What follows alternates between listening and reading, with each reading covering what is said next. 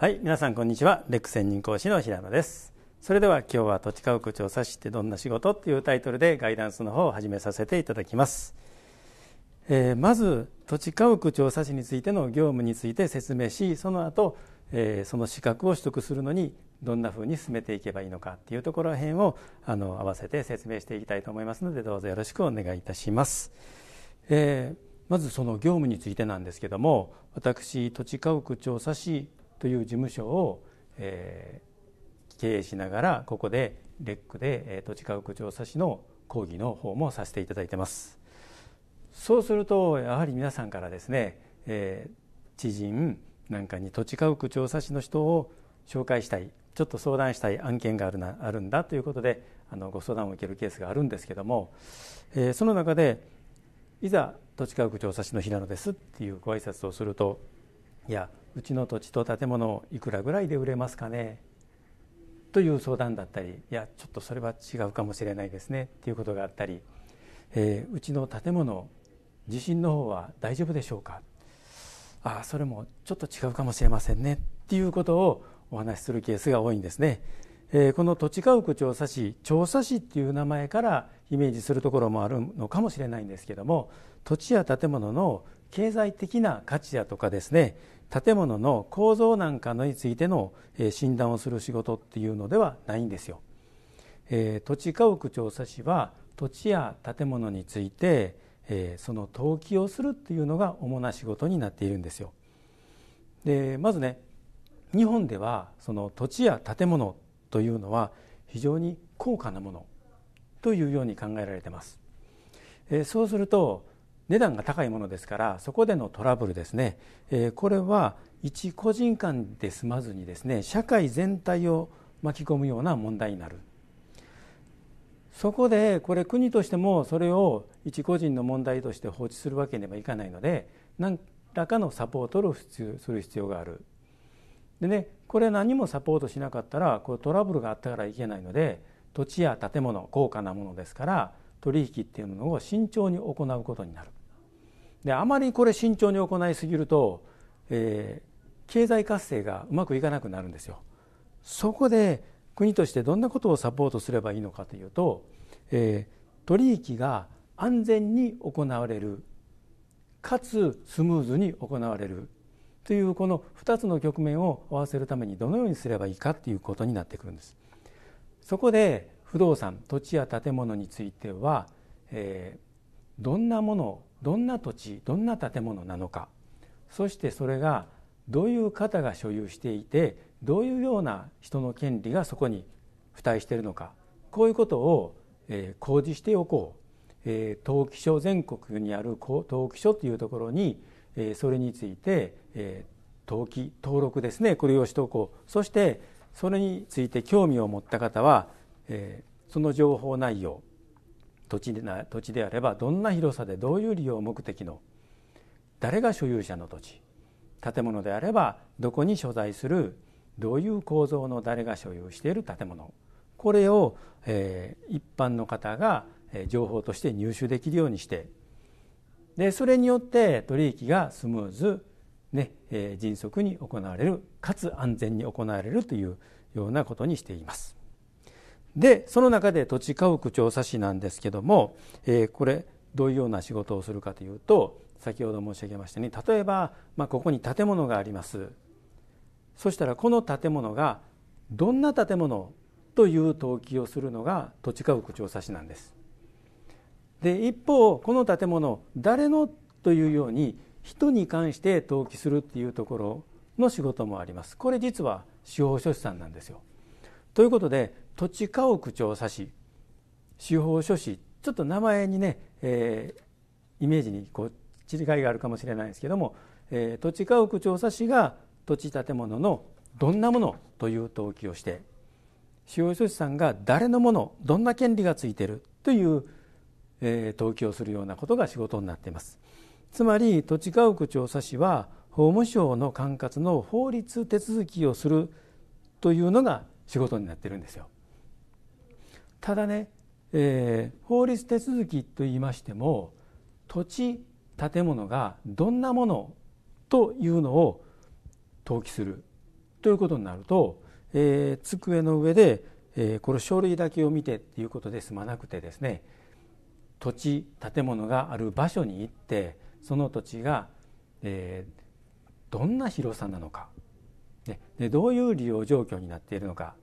建物についてはどこの場所にあってどういう構造、ねえー、木造なのか鉄骨造りなのか鉄筋コンクリートなのか屋根はどんなふうになっているのか何階建てなのか、えー、建物の広さ床面積といいますがこれは1階どんな2階どんなこういうことも調査する必要があります。ということで、えー、外での測量や調査というダイナミックな作業と屋内での綿密な、え、書類を作って計算したりするという、え、非常にこう両極端な仕事をするのが特徴的な仕事ということが言えると思います。では少しそれについて具体的にお話をしていきたいと思います。まず、えー、土地家屋調査士の代表的な仕事としては建物の方なんですけども、えー、新築した建物について今から登記を進めていくっていうことがあります。で建物新築されるとどういうように登記がされるかといいますと先ほども申し上げましたようにどんな建物だという部分と誰の建物だという部分に分かれます。でこの誰の建物というのを皆さん新築すると自分の名前の建物を登記したいなと思うと思うんですけどところがこれどんな建物だというのを先に前もって登記しておかないとその対象になる建物ですね不動産を特定することができないんですよ。でこの土地家屋調査士という資格は、えー、まずもし建物が建ったらそれを最初にどんな建物だというのを登記するような仕事ということです。では建物を新築した時に登記するじゃあどのような、えー、手続きをするのかなっていうと、えー、建物が建っている場所についての、えー、予備調査をします。どんな土地なのか誰の土地に建ってるのかな。そしてその建物が、えー、どういう場所に立ってどういう構造でどんな大きさで建っているか。でいつ頃作られた建物なのか、ね、こういうことを調べてえー、現地で調査してそれを事務所に持って帰ってきて申請書類を作ってこれを登記所に申請するで大体これでそうですね最近では1週間以内ぐらいに登記が完了しますでそしてこれをお客様に納品していくわけなんですけども、えー、まあ、ざっと今の手続きでどのぐらいの報酬がいただけるかというと大体10万円から前後というところですかね。で次に、えー、代表的なものとして今度土地を少しお話しましょうかね。土地についての仕事ということで一つ、えー、代表的なものとしては一つの土地がありますでこれを二つに分けたいとかいうケースがあります。えー、なんで二つに分けるのかな？っていうと例えば、えー、大きな土地があって親世帯が建物を建ててそこに住んでいます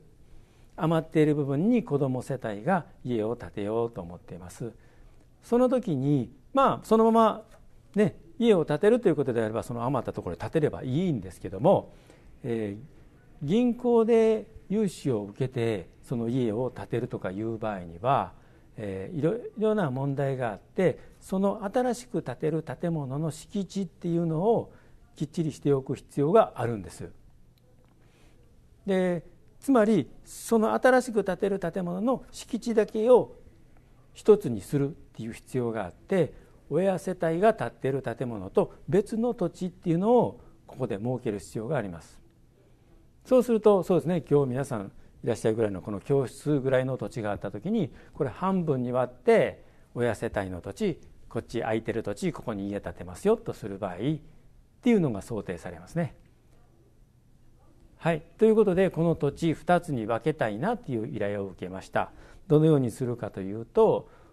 まず先ほどの建物と同じようなところなんですけどこの土地のコンディションですね、えー、どんな土地なのか登記上どうなってるのかということをまず法務局等で調べます。で次に、えー、その土地の測量をしていくんですけど、えー、この測量にはあの測量、ね、トランシストという機械を使ったりしますね。でこれで、えー、境界点と言われる土地の形をどんどん測っていきます。大体どのぐらいの日時かかるかなっていうと、まあ、最初に測量するにあたっては、まあ、1日慣れてきたらこの教室ぐらいの土地であれば半日ぐらいでできると思います。でこれで完成ではなくてこの図面をもとに、えー、周りの土地の所有者さんなどに面談して土地の境界位置がこれで合っているのかなとかいうことを確認していったりします。でまた道路に面している土地なんかであればその道路の所有者管理者、えー、これは市町村であったりすることが多いんですけども、えー、この、えー、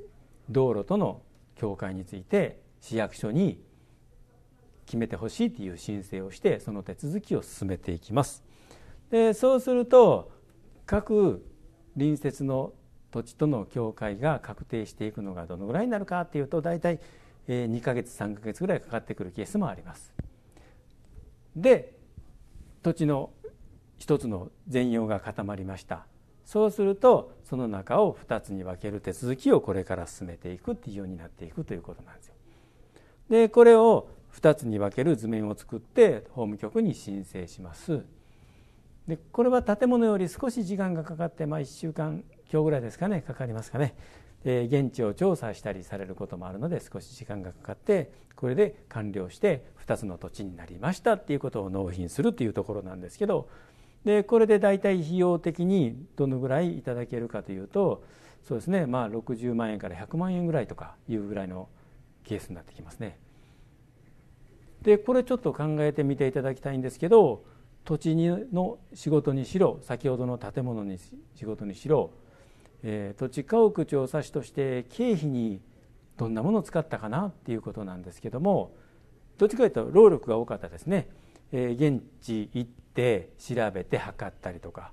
まあ法務局にある事前情報とか各種役所の情報を調べたりはするんですけどもそれもそんなにね、えー、何万円という単位でかかったりするものでもありませんね。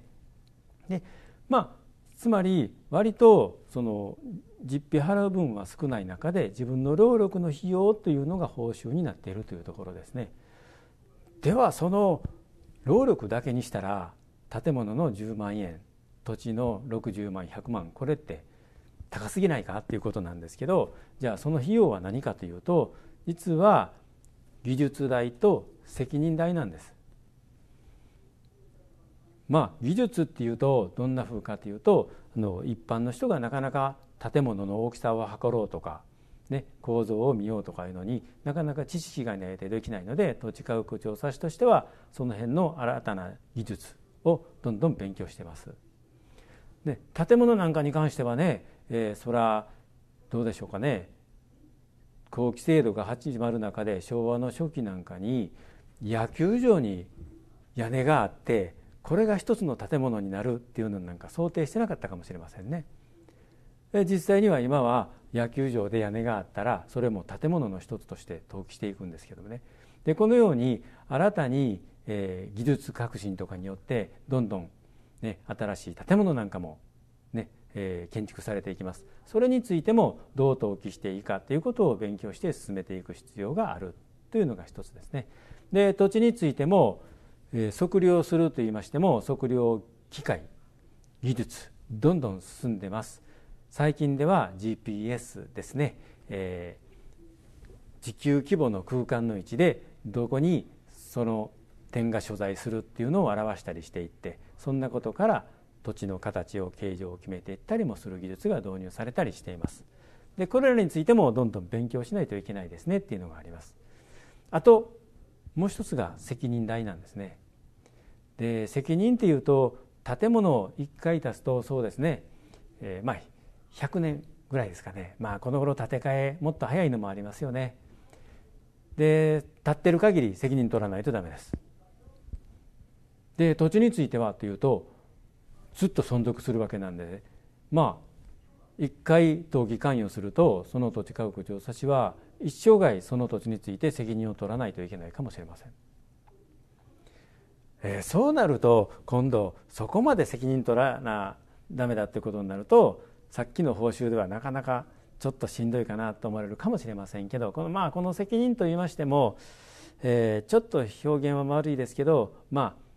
不正をしない責任といいますかね。例えば先ほどの、えー、建物では現地ちゃんと調べて3階建てやけど2階に登記するとか、まあ、こういうのは不正行為になるんですけどね。土地についても、えー、大きさについてきっちり測量しなければならない。ただまああの図面上一辺100メートルあるけども機械でもう一回測ったら、えー、1センチ足らんでとか、まあ、このようにあの誤差範囲のところにまで責任を取るわけではありません。まあ、意図的や不可抗力によって間違えたりすることがないようにという責任というように取っていただければいいかと思いますね。というところなのでこのまず報酬については非常にあるいろんな資格の中でもいい報酬まあそれについて責任と技術の、えー、ところが大きい仕事と言えることがね言えるんじゃないかなと思いますね。ではそれらの仕事をどういうとこから依頼くんのかなっていうことなんですけどもえー、実はやはり土地や建物が何か動くっていう時に来ることが多いんですけども建物については、えー、建てたご本人から「私家建てたので登記してください」という依頼を受けるケースは実は少ないですね。まああの人口密度の低いようなところで、えー、地元の方と、えー、仲良くしながらですねこう、えー、社会的に、えー、共存しているようなところになったらそういう依頼も、ね、人間のつながりがもっと深くなるでしょうから直接依頼が来ることも多いかもしれませんけどもなかなかねこの大阪府下で仕事をしているあるいはこの近隣で仕事をしているっていうところね、え東京都内なかなかこの辺のつながりは少ないかもしれません。ではどんなところから依頼が来るのかといいますとやはり建築屋さん不動産屋さんこんなところなんですよ。で、えー、建築屋さんから、えー、家を建ててます。所有者さんこんな方です。っていう形で紹介を受けて登記を進めるケースが多いかなと思いますねあるいは不動産屋さんがそれについてえー、関与しているので不動産屋さんから依頼を受けるケースもあるかと思います。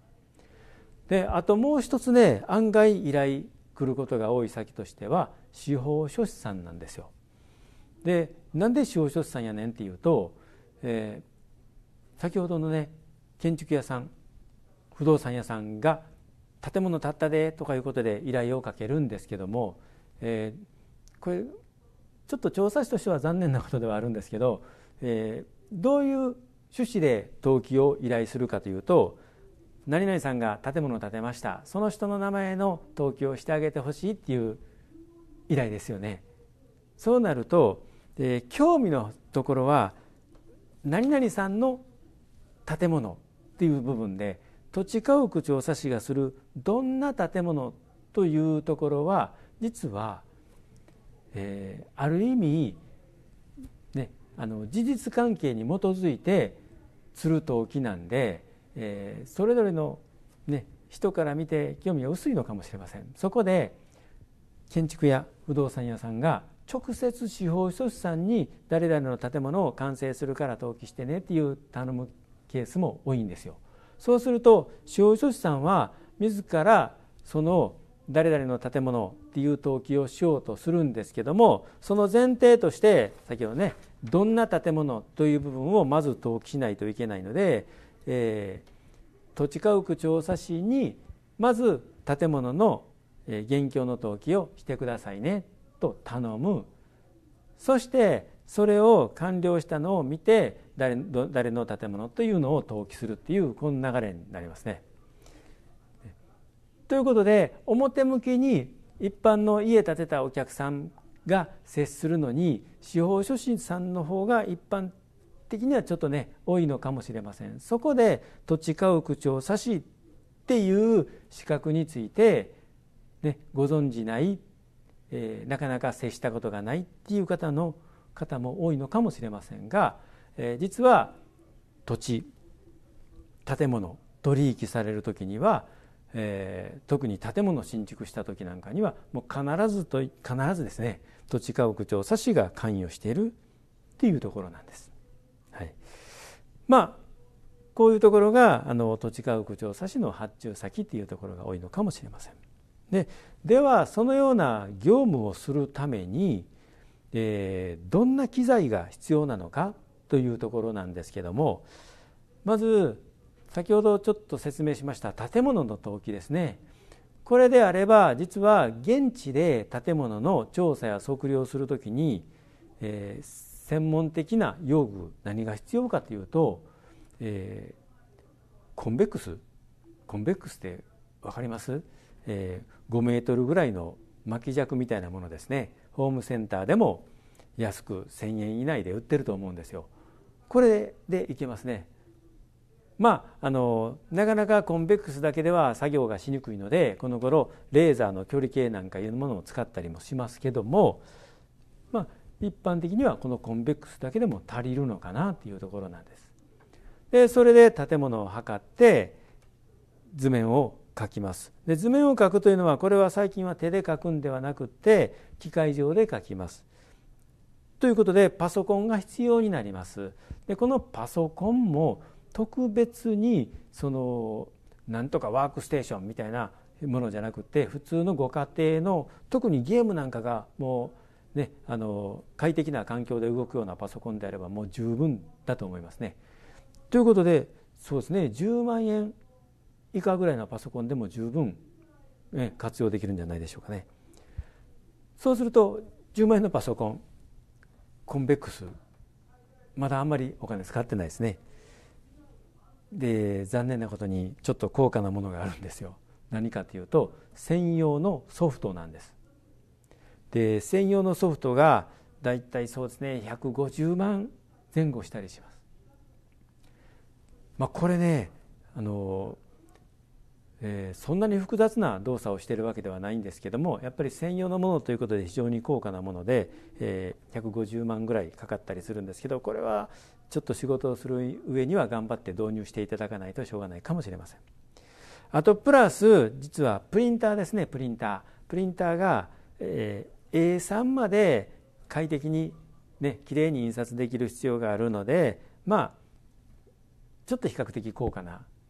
えー、23万円のプリンターじゃなくて、まあ、10万円あるいは20万円ぐらいするものが必要な場合もあるかもしれませんがそのぐらいの値段の、えー、設備で仕事まず建物の仕事はできるのかなというところなんです。で土地の方の仕事をしようということになれば先ほどちょっとねえ測量機っていうことでお話しましたけど測量機材が必要になります。ね、これはまあ大体200万円ぐらいとかからねかかってくるんですけど、えー、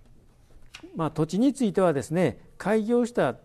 時にはなかなか一人で難しいのでどなたかに手伝ってもらってしてもいいのかもしれませんね。はい、そうすると機材についても、ね、借りながらだって土地についての仕事って60万から100万円単位の仕事なのでそれこそね、えー、そんなん何個もあんねん言うたらもうすぐそんなん買えるだろうし逆に言うとなかなかそこまでの仕事をこなせるものでもありませんのでっていうことです。はい、ということでどういうところから依頼が来て、ねえー、どんな機材が必要かなっていうところをお話しさせていただきました。次にじゃあ実務経験どのぐらい必要なのかなということなんですけどもまあこれについては意見いろいろあると思いますけども、まあ、もしも実務経験必要だとしても合格後1年ぐらいどっか事務所で勉強すれば十分かなと思いますね。ねじゃあどういう実務経験が必要だというと実は、えー、実際に建物を現地で測定する土地を測量するその部分って何個かこなせば大体できるようになるんですよ。むしろ依頼が来たもとに今どういう進行状態にあってあるいは新しい案件が来た時にどういう手続きが必要です？っていうところを案内するのに経験が必要かなと思ったりしますね。となるとこれねどっか事務所へ所属して補助補助者として、ね、業務を手伝うようなことを何年したところで、ね、この説明したりするところが、ね、経験なかなか上がらなかったら意味ないのかなと思ったりしますね。はい、でこの仕事をするためにどうすればいいのかっていうことなんですけど土地家屋調査士という資格を取得する必要があります。じゃあ土地家屋調査士どうやったら取れるのかなっていうと、えー、大きく分けますと2つなんですよ。土地家屋調査士という国家試験に合格する。もしくはね当機関法務局の当機関として定の実績を積むっていうことなんですけどもね。なかなかこれ難しいのでやはり調査士試験に合格するっていうのが一番近道かなと思いますね。で土地家屋調査士にはアッパー資格というのがありません。何かの資格持ってるから調査士になれるっていうのがないんですよ。したがって土地家屋調査士試験に合格するしか道はないっていうところです。それあの試験という意味ではね。でこの土地家屋調査試験に、えー、受験するには前提資格として測量士法測量士1級2級の建築士の試験に合格したっていう実績が必要になってきます。あのこれなしでもあの試験当日にこれに伴う測量に関する知識があるかっていうことを、ね、試験で受けることもできるんですけども、えー、この2科目を受けるっていうのがしんどいので大体この測量士法測量士1級2級の建築士の資格を取って土地家屋調査試験に挑むっていうケースがほとんどじゃないかなと思いますね。ではこの土地家屋調査試験なんですけどもどのぐらいの学習期間が必要かということなんですけども、えー、レックでは1年、1年間の学習で合格ができるというプログラムを組んでねえ勉強を進めていますじゃあ実際1年で合格できるのかっていうと多くの方がそうしていますそして先ほど言いました測量士法測量士1級2級建築士のことなんですけど、まあ、この中で一番学習期間が短くて合格できるということで測量士法について並行して勉強します。でこの並行しながら1年で生きるのかっていうと多くの人がこれで合格できています。はい、じゃあどのぐらいの勉強量が必要かなっていうことなんですけど1年間ですね、えー、例えば生の講義で、えー、説明しますと大体そうですね、えー、2時間半の講義を1週間に2コマ受けていただくということになります。ということは1週間に5時間じゃあ学習どのぐらい必要かというとこれあの予習はほぼいりません。うん、というのも土地家屋調査士の勉強内容ってあんまり一般の方が、え日常社会の中で接するものではないので予備学習するというのがなかなか難しいのでもう復習だけをしていただければいいという授業プログラムになってます。では復習どのぐらいすんねんって言いますと5時間授業を受けていただいたらその倍復習しませんかということですね。ということは10時間週に10時間まあ月曜から金曜日までとしましたら大体1日2時間どうですかねこれ絶対無理っていうわけではないし楽勝っていうわけでもないのかもしれませんけども。ね。でこの2時間なんですけども、えー、家で机の前に2時間ずっと毎日っていう時間でなくても結構です。通勤通学の時間勉強しよう。これも含めてもらっても結構ですね。ですからカードとかを作って記憶しないといけないというのはそういう通勤通学の行き帰りの時間などを大いに活用していただいてでただこの土地家屋調査士という試験、ね、外で測量する作業があると言いましたね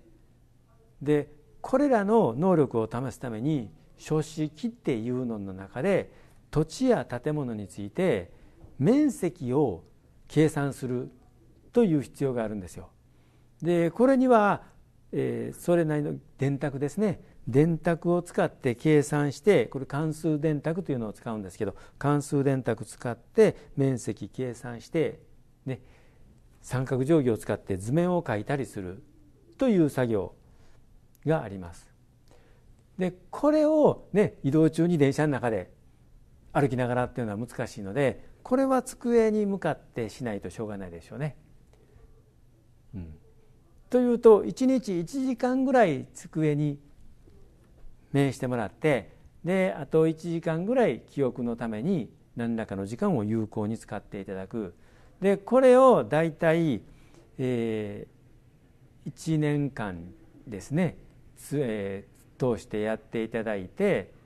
まあ、実際にはこれあの8ヶ月から10ヶ月ぐらいなんですけどこれをしていただいてその後その今までに培った知識ですねこれを外に出す練習ですねアウトプット事業と言いますけども要は入ってきたもの以上のものは出ませんので入ってきた記憶したものをギリギリ出せる能力を高めるっていうのを繰り返すと大体1年でこれが合格できるというのが、えー、この土地家屋調査士じゃないかなと思いますね。はい。ということで今日は土地家屋調査士について、えー、業務ですねどんなふうな業務をしているのかどういうところから仕事が来ているのか、えー、そして、えー、どんな報酬があるのかどんな設備が必要なのかということと、えー、その土地家屋調査士になるためにはねどのぐらいの勉強期間が必要なのか